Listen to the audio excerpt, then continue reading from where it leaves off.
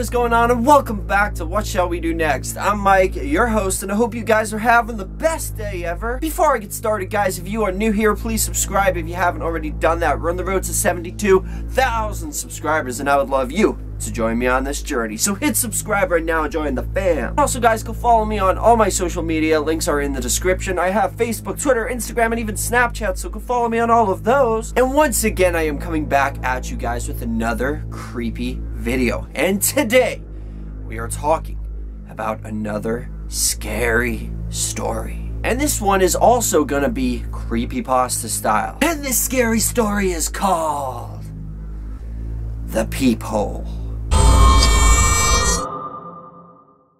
So, the story of the peephole is about a young 15 year old girl who is left home alone while her dad goes out on business. So let's jump right over to the story.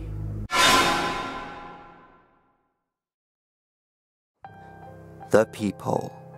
A 15 year old girl named Donna lives with her father in a small house in the suburbs.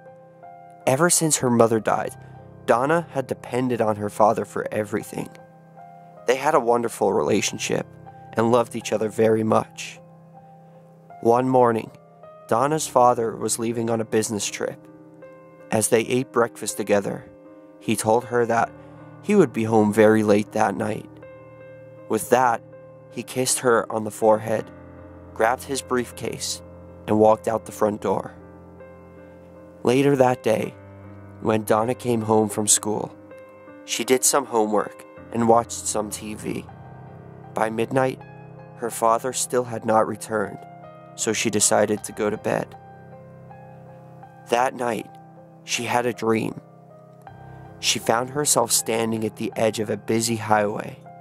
Cars and trucks whizzed by at an alarming rate. She looked across the highway and saw a familiar figure standing on the other side. It was her father. His hands were cupped around his mouth, and he seemed to be shouting something to her, but she couldn't make out what he was saying. As the traffic whizzed by, she strained to hear. Her father's eyes were sad. He seemed to be desperately trying to communicate something to her. She could barely make out the words. Don't open door.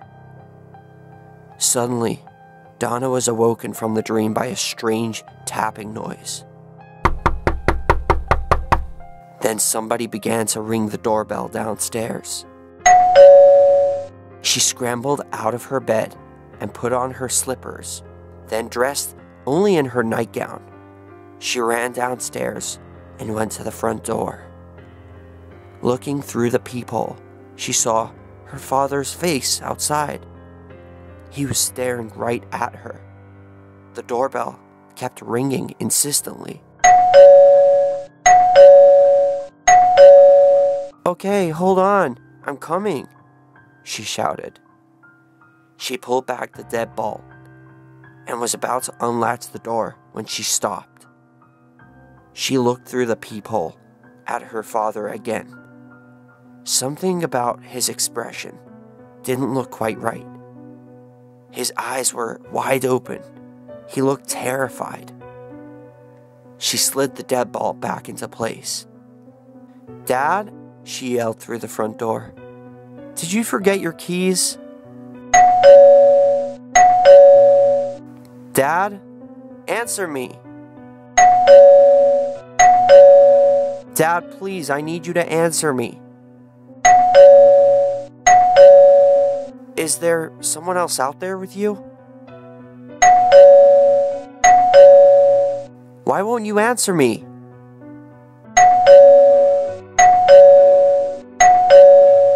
I'm not opening the door until you say something.